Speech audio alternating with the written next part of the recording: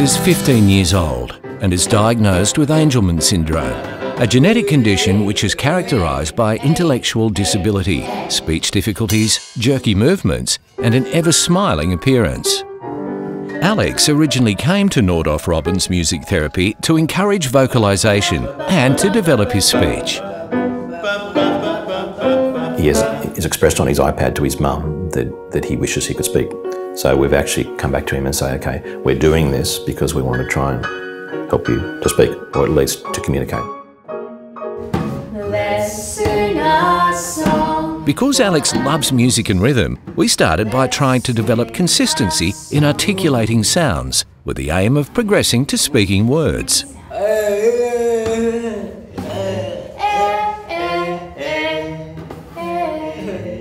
After working through some initial challenging behaviours, we reached a point where Alex was able to focus his attention and work towards producing intentional sounds, a huge achievement for him.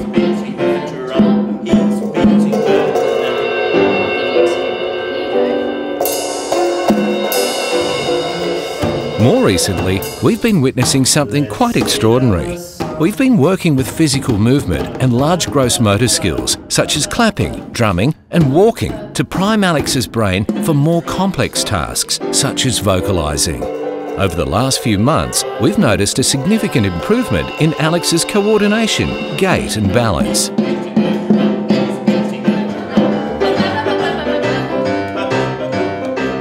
We've seen an improvement in how integrated Alex's body and actions have become.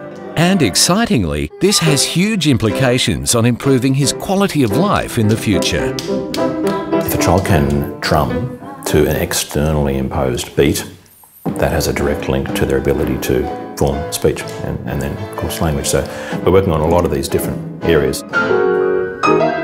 We are now working in music therapy for Alex to further develop his integrated whole body coordination and increase his capacity to concentrate, vocalise and produce intentional sounds. Yeah. Shall we sing? What it's become is, is Alex's safe place to kind of put together everything that he's been working on. So the vocalizations, the timing, the coordination, the communication, it's become a lot more than just a therapy. It's become Alex's like a place where he can experiment